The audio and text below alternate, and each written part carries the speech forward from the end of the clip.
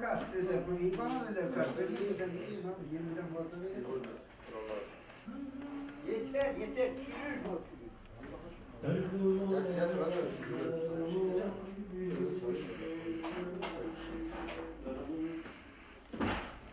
Osman abi perdeye basmaz da hoca basar belki yanlış. Ya Ya Kısayı alayım.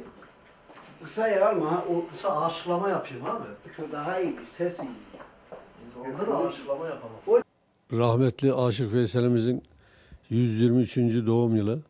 Bu vesileyle Sivas Fasil Heyeti Aşıklar ve Halk Oyunları Derneği Başkanı olarak tabii ki aşıklık demek e, Sivas demek bence. E, Erzurum, Kars.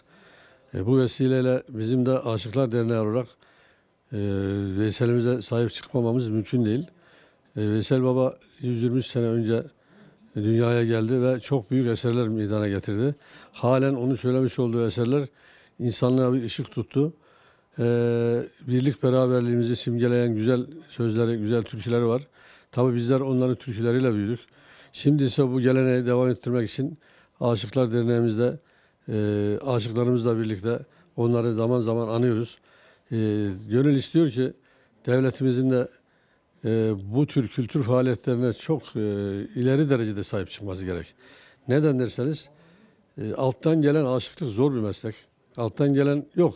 Çok az. Belki zamanla bu da kaybolacak, gidecek. O yüzden e, bunlara teşvik edilmesi lazım.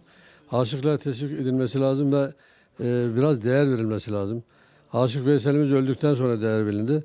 Biz istiyoruz ki aşıklarımızın aşıklarımızın ilelebet devam etmesini, bu geleneğin devam etmesini istiyoruz.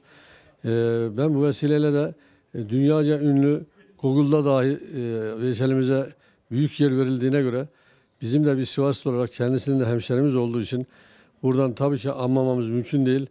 En kalbi duygularımızla mekanı cennet olsun diyoruz.